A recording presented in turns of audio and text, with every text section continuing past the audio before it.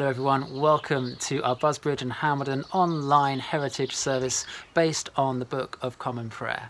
Just a couple of church notices to say we're really looking forward to the youth service unplugged tonight at 6:30 available on Zoom. We've got the youth band playing, we've got a drama and Anto our youth worker is bringing a message to us. That's at 6:30 tonight. Then also just to say that on Thursday it's Ascension Day and to celebrate we've got a reflection at 7.30 uh, followed by a Churches Together service at 8.30 again available through Zoom. Please do check out the website, uh, the regular updates there as to what's going on in the life of the church and do join us each day uh, Monday to Friday 9 o'clock to 9.30 for morning prayer. You're most welcome to join us again. All details available on the website. We're going to start with our opening hymn, Guide Me, O Thou Great Redeemer.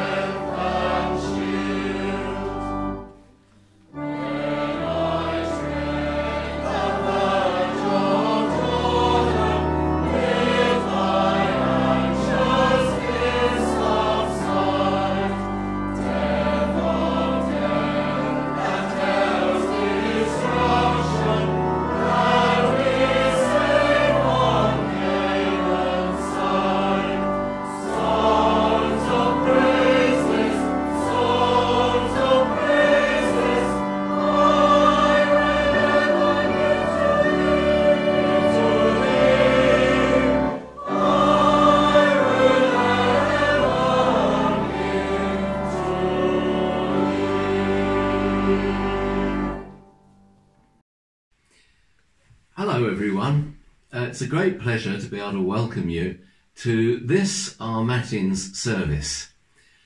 Um, we're going to start with the usual opening sentences.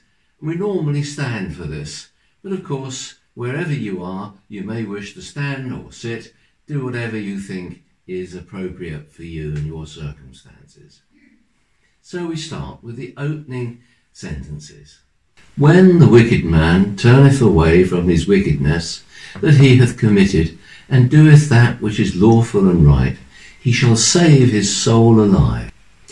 Rend your heart, and not your garments, and turn unto the Lord your God, for he is gracious and merciful, slow to anger, and of great kindness, and repenteth him of the evil. Enter not into the judgment with thy servant, O Lord, for in thy sight shall no man living be justified. If we say we have no sin, we deceive ourselves, and the truth is not in us. But if we confess our sins, he is faithful and just to forgive us for our sins and to cleanse us from all unrighteousness.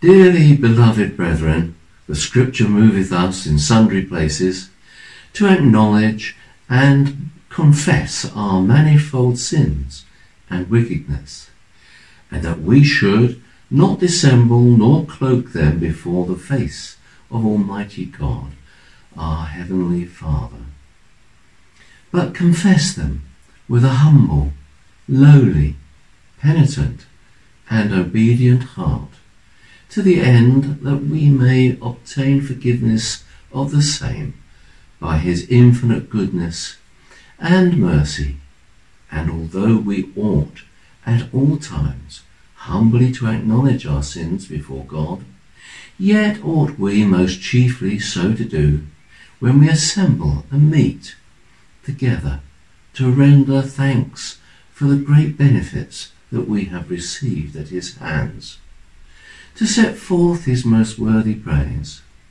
to, bear, to hear his most holy word, and to ask those things which are requisite and necessary, as well for the body as the soul.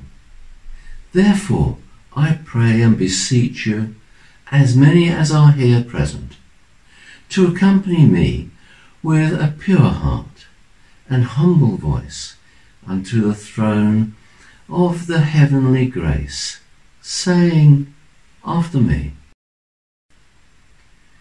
we say together, Almighty and most merciful Father, we have erred and strayed from thy ways. We have, we like lost sheep, we have followed too much the devices and desires of our own hearts.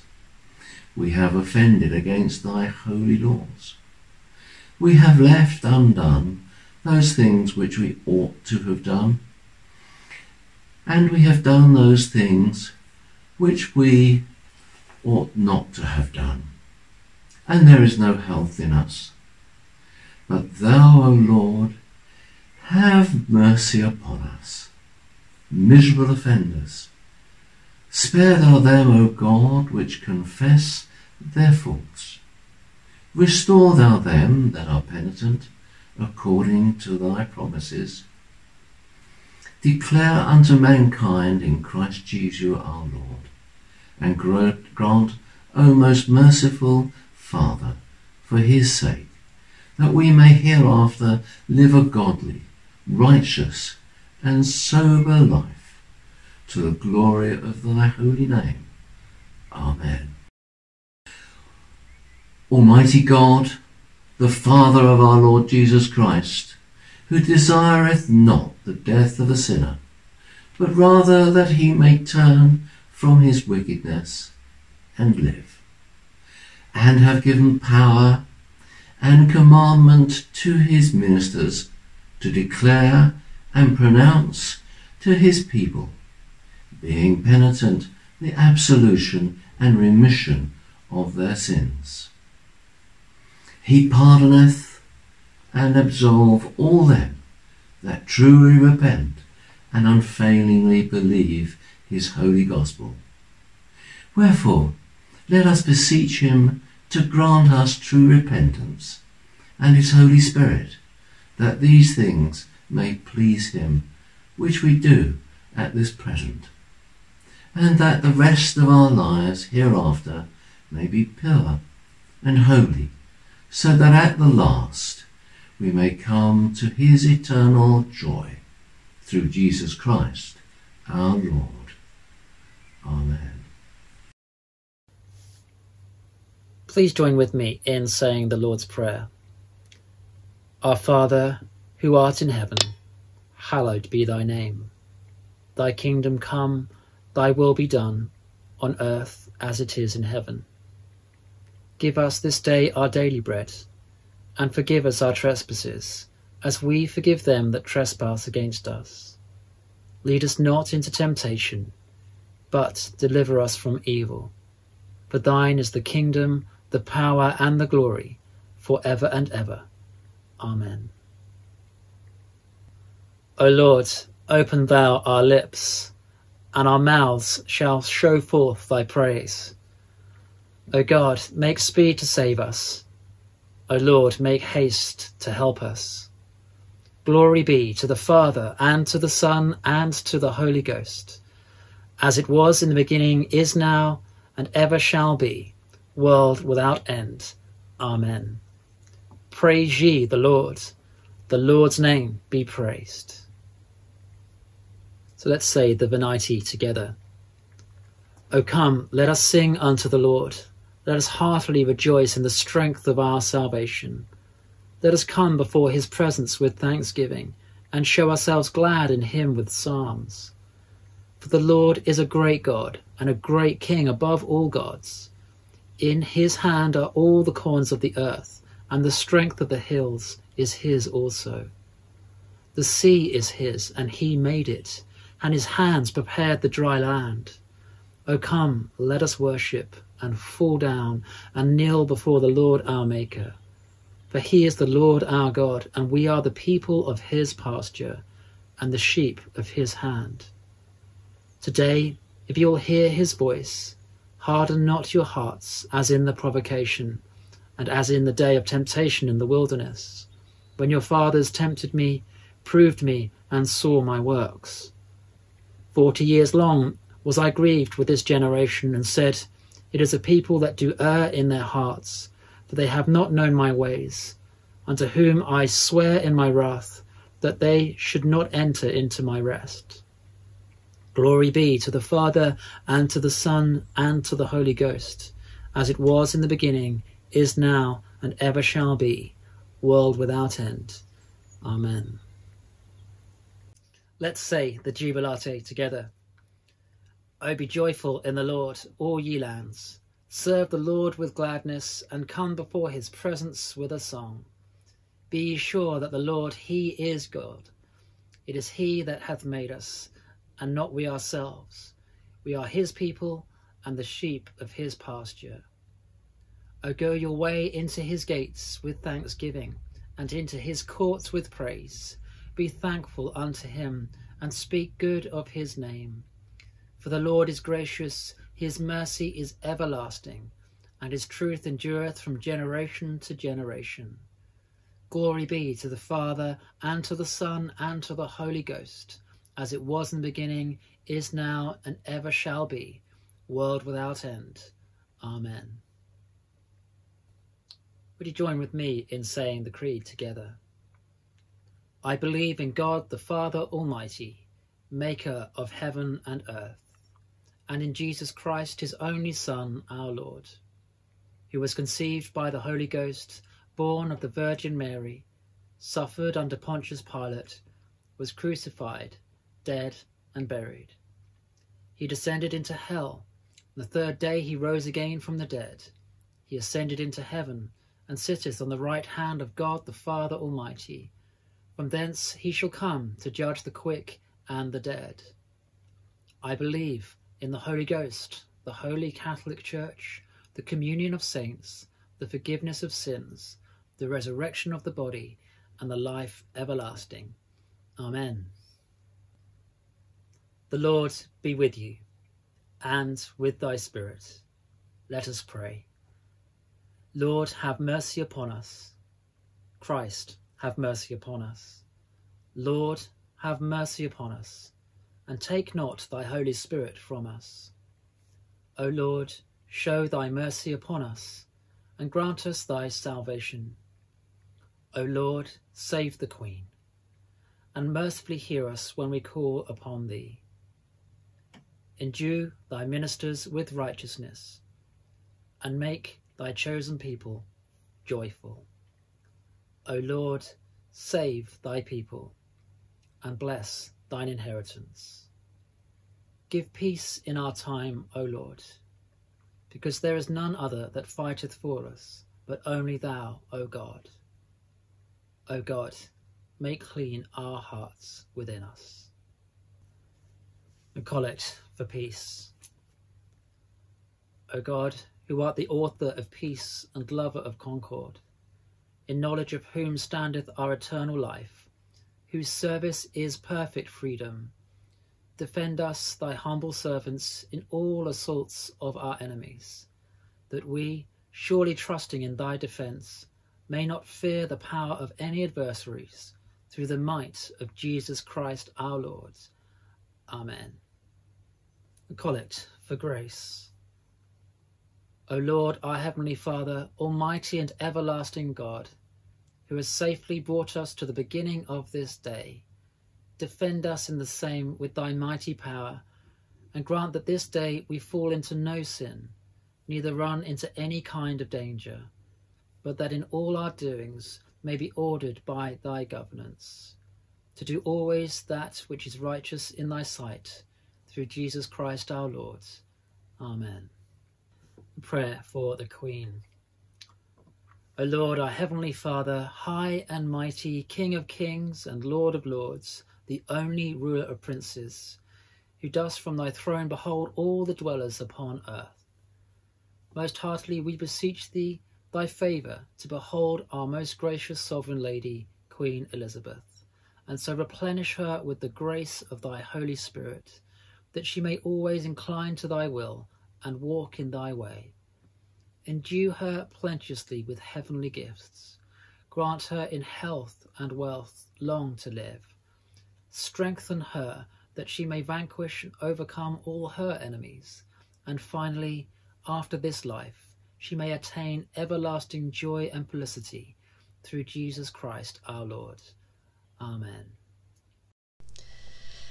Let us pray. Holy God, our Heavenly Father, thank you for bringing us to this day. Thank you that despite all the huge changes in our lives and the uncertainties that we face, you do not change. Your love and your plans for our lives do not change. Your faithfulness and your love are forever the same. And so we come to you with confidence, bringing our needs and the needs of the world to you in our prayers. Father God, we would want to pray first of all for all those who are suffering as a result of COVID 19. We pray for those who are unwell, for those who are dying, and for those who have lost loved ones. We pray for the elderly in care homes unable to see their families and friends and for those who are lonely or frightened in isolation. We pray for those who are anxious about losing their jobs and their incomes. We pray for those who are feeling trapped in unhappy homes and for those just longing for love. Father, please bring your comfort and strength in these difficult times. Lord, as we pray for those in need, we pray also for all those who are working in our hospitals and in our care homes. May they get the protection that they require and grant them the energy and resilience and encouragement in their work. We ask your special blessing on their families, often coping without them. Father God, you call us to pray for our leaders who especially need your wisdom and courage as they make decisions on our behalf. We pray that they too may be encouraged and strengthened. Lord God, we recognise that the whole world is being shaken up by the spread of this virus. And so today we pray for the leaders of the nations. Give them wisdom and compassion and enable them to work together to find ways to support their citizens through this world changing crisis. Most of all, dear Lord, we ask that men and women everywhere may turn to you. And may we as your church be diligent in sharing the hope that you've given us in your Son Jesus. Lord, we thank you for our young people. And we do ask your special blessing on them as they cope with the confusing changes in their lives. May they be encouraged in their studies and in the contact they have with friends online. And may they know that you can work all things together for their good. We pray especially for all teachers as they seek to support their pupils and as they make plans for when the children can return to their schools. Finally, Lord, we pray for ourselves, for our loved ones, for our friends and neighbours. Help us to put our trust in your unfailing love and to seek to follow you day by day. May we know your comfort and strength and grow in our faith as we know your faithfulness to us in all the ups and downs and struggles of our lives. Thank you for your presence, for your peace, and your steadfast love in Jesus Christ our Lord. Amen.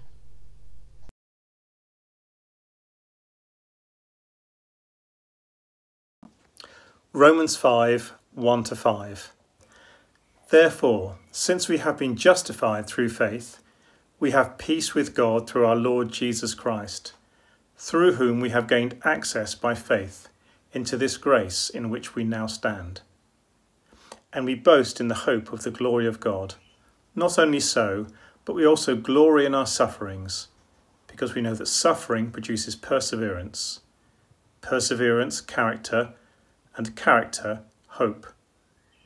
And hope does not put us to shame, because God's love has been poured out into our hearts through the Holy Spirit, who has been given to us. This is the word of the Lord. I'd love to ask you to imagine that each one of us is a story, and that we have a story which we are writing every day of our lives.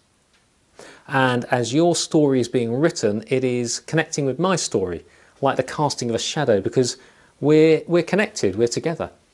We are all created by God for connected stories, for those stories to be connected with God and with one another.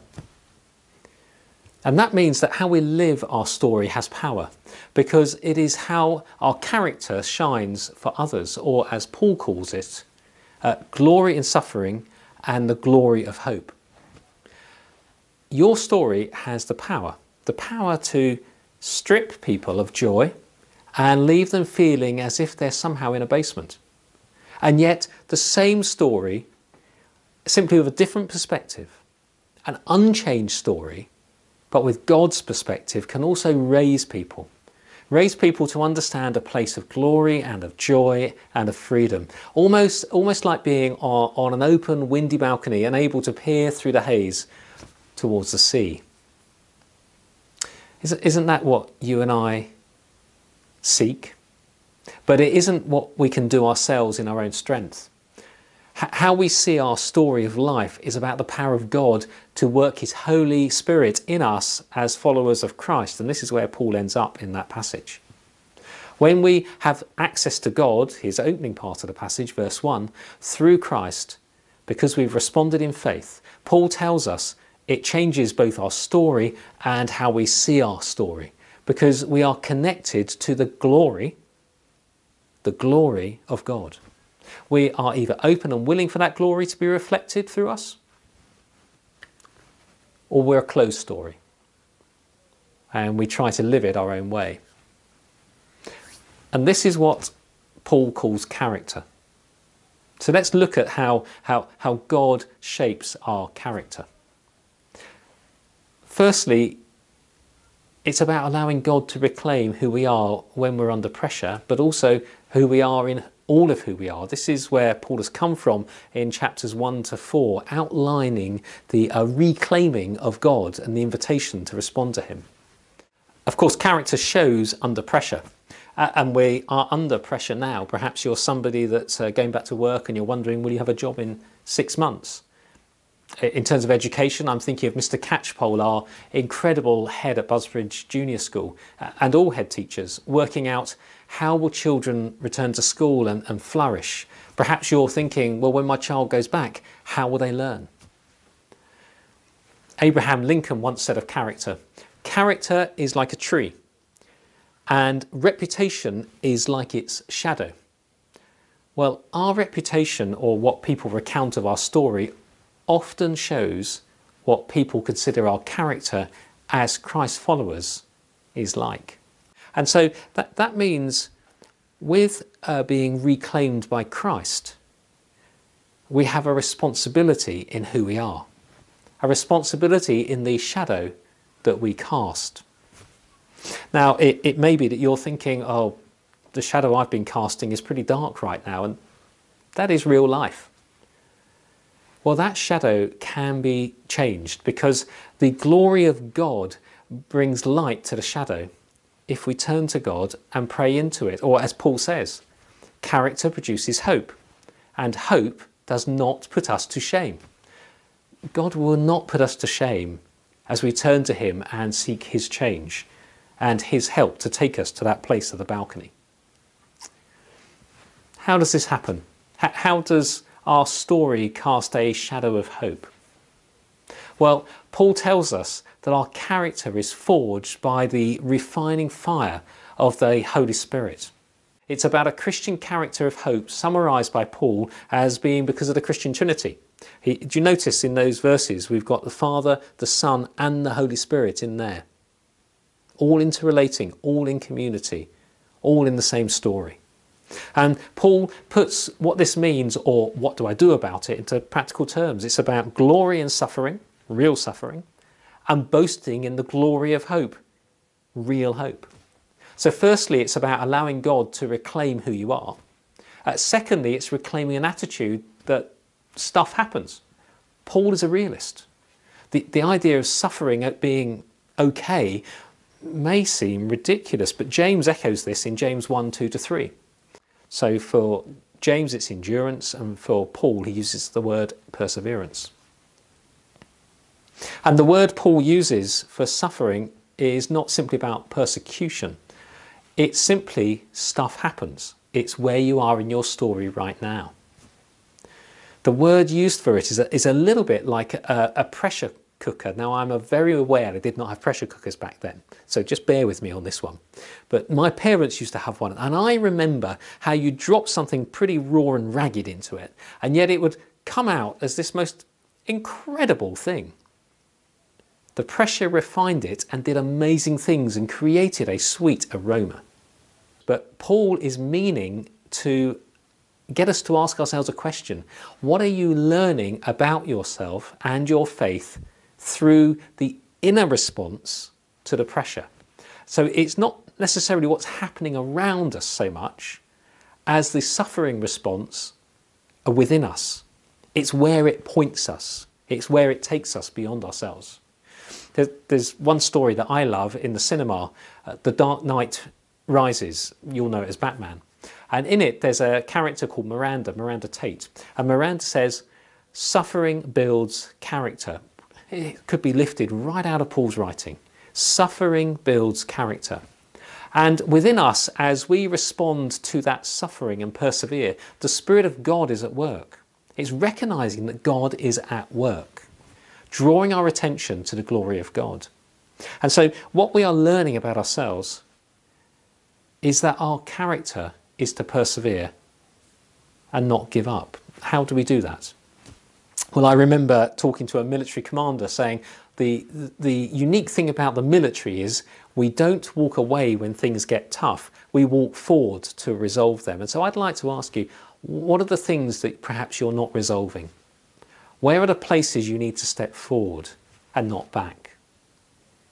And invite the Lord to work through you in them and work through them in you as you are refined by the Holy Spirit. Thirdly, it's about reclaiming a corner for the glory of God in your story. The, the other day, I think it was last Thursday, uh, I met a family who were out walking. And it seems that what happened was the wife had sent the entire family, quite a large family, out so that she could, as they said, walk around the house alone and reclaim the spaces she was used to having to herself. I quite like that, reclaiming the spaces she was used to having to herself. Uh, we all need space to reclaim who we are. And the best space you can have is to begin the day with God's Word, to find a corner where you can curl up and read, reflect, and pray. It, it might be five minutes. It's about stepping into the glory of God within the stuff happening because you have returned to God. And you find you, you are working your faith through it. I've been helped myself in this with the story of John Mark Comer. He's written a great book which I'd recommend. It, it, it's quite a long title, but it starts The Ruthless Elimination of Hurry, and that says it all. It's the story of reclaiming your purpose in the glory of being God's created being. It's powerful. The ruthless elimination of hurry. And this, this is all agreed with by psychological studies. Uh, there is a field of study called post traumatic growth. Now, for many people, when they have learnt to deal with a profound trauma, often through walking alongside others in community. They experience often what two researchers called Tedeschi and Calhoun have termed positive life change. Positive life change. And some of the signs of this might interest you. Uh, renewed inner strength, greater appreciation of small things that used to be taken for granted, more satisfying relationships it seems to me it's a bit of a response to COVID 19. And one of the most common changes is a spiritual attitude to life due to deeper level awareness, or what uh, another researcher has termed spiritual integration. Paul knows all about spiritual integration. He writes in 58 AD, roughly, four years after the Christians of Rome have been evicted from Rome, and though he may not know it, four years before he himself will be martyred for his faith. And he calls it glory in suffering and glory in hope, and it is thoroughly integrated. It is about the work of the Holy Spirit in the believer, pouring healing love into the hearts of those who have faith in Christ's resurrection. I just wonder whether it is possible that in our locality across Godalming, uh, into the local villages through Hambledon, we are developing a deeper level awareness that there is a story of spiritual integration, a shadow of faith, a balcony being sought. The story is beginning to stir deep in people's souls and the collective sigh of our community and in our churches that we are beginning to look beyond self and to us, to being together, to looking to God. Uh, and I, I, sense that God has a renewed story for us, and it is not going to be exactly the same story as yesterday. It will give us a new perspective on what was and take us into the future. And so, fourthly, it's about reclaiming a character that propels us into living in community. You know, we Christians, we, we're all about community or so we say we are. But perhaps we'd lost that for a bit in our lives. Perhaps church had become what I had gained, almost just a little bit parochial. But uh, what we're discovering is that it's about what we give to one another. It's about small acts of giving that bring people's lives into the balcony. In the midst of the chapter of our lives when we're trapped in a feeling of basement, and yet somehow we know that God understands our suffering and He helps us to persevere through. And that is broader than me and my church or me and my faith. Let me, let me take you to Batman again, if I may. Batman himself says, A hero can be anyone, even a man doing something as simple and reassuring as putting a coat around a young boy's shoulders to let him know that the world hasn't ended.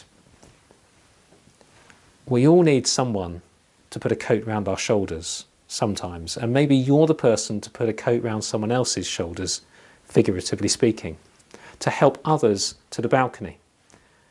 It reminds us that we are planted to be people of the balcony in the midst of suffering, but also planted with heaven in our hearts. Paul says that uh, it's about we. It's the second time he starts using we in, in Romans. In Galatians 6 2, he says, bear each other's burdens. But let me, let me let you into a secret. It's not a hard secret. To have burdens shared, you need to let know, people know that you have a burden. You can sit in a corner and read your Bible. You can curl up in your garden space or your uh, house space and you can pray. But we're also called to tell people how we are, uh, and honesty is a risk. But Paul is saying it's about persevering through. It's very practical but very personal. To turn to a loved one, that's why I've got the word love here next to me. To send a text, to send a WhatsApp. I'm struggling with this right now. I was talking to a supermarket delivery person the other day and asking about how it was going for them and how he, how he was finding it. And he said, he said, I'm doing it for the people who, when I knock on their door, they cry because they haven't seen anybody. Oh, that, um, that got me a bit. Now, I don't know if he was particularly religious, but I said, oh, look, can I, can I say a little prayer for you? And can I pray for the people you go and uh, um, deliver to? And he was really open for that. I just prayed. You see, he's, he's delivering humanity. He's delivering connected story. He's delivering the glorious love of God. And his humanity is touching their humanity. His story is joined uh, with their story. And I wonder where you are in your story because you have confidence in your access to God. Where are you in, in your story because you know you have peace with God? You are at peace with God. And where are you in your story because you know that you are invited, as Paul says, to stand before God? What shadow does your character cast? How can you develop these things? Well, here's just a few. We've looked at allowing God to reclaim who you are, every part of who you are. Reclaim accepting that stuff happens, it's real life. It doesn't make it right, but life happens. Uh, reclaim a corner for the glory of God in your situation as you take that corner to pray, read, and reflect. Find your space for the glory of God to fit with your day. And for me, that's about removing hurry. And reclaim living in community, looking beyond you or I to we and us and sharing our burdens and seeking other people's burdens to support them. This is the story of character that is founded on hope. With this character, you will make a difference.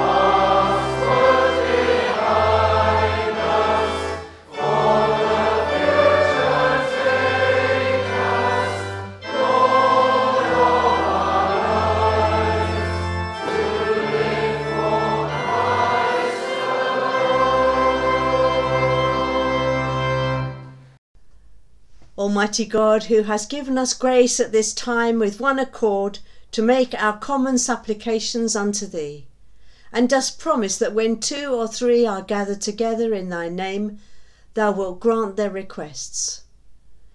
Fulfill now, O Lord, the desires and petitions of thy servants, as may be most expedient for them, granting them in this world knowledge of thy truth, and in the world to come life everlasting. Amen. May the peace of God, which passes all understanding, keep your hearts and minds in the knowledge and love of God and of his Son, our Saviour Jesus Christ. And the blessing of God Almighty, the Father, the Son, and the Holy Spirit be with you and all those for whom you pray, now and for evermore. Amen.